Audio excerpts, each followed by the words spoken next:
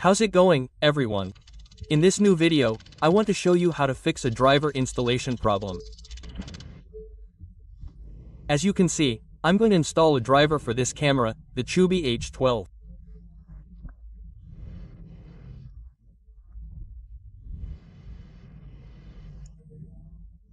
When I click here, I click the install option and the following problem appears.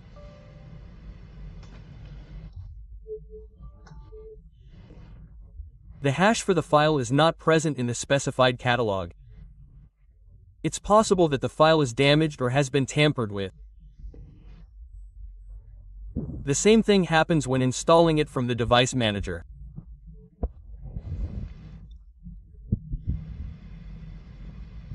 I'll show you there so you can quickly see it.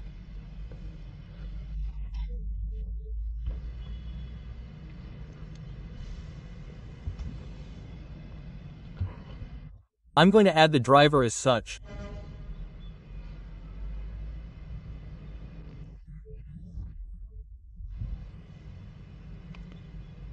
I search for it normally and I'll also get the same problem.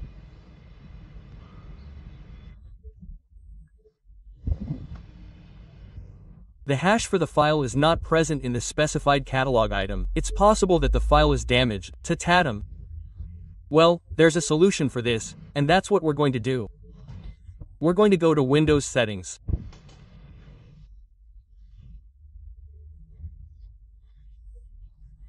In case that works for Windows 8, Windows 10, and Windows 11. In Windows Settings, click where it says Update and Security, and there's a section where I did recovery.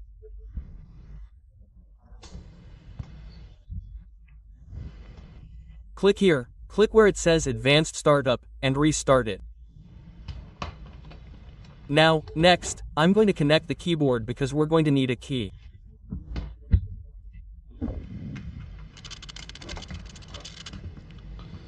Done. Next, click where it says Troubleshoot. Advanced Options. Click where it says Startup Settings and click Restart.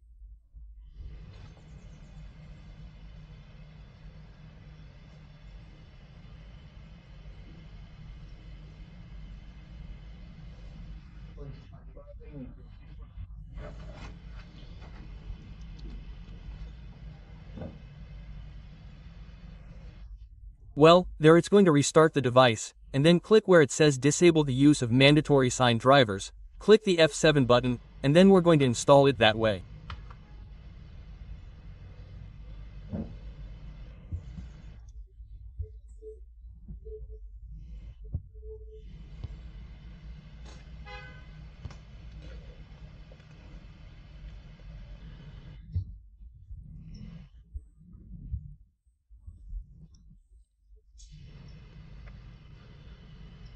From here, we're going to reinstall the driver as usual, and with that, we'll see how this ends.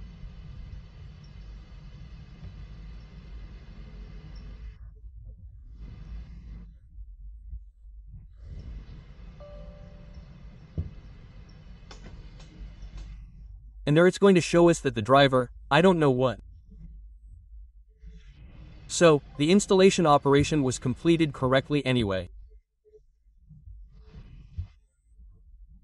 Let's test if the driver already works by entering the PC camera. Let's see if that solves it.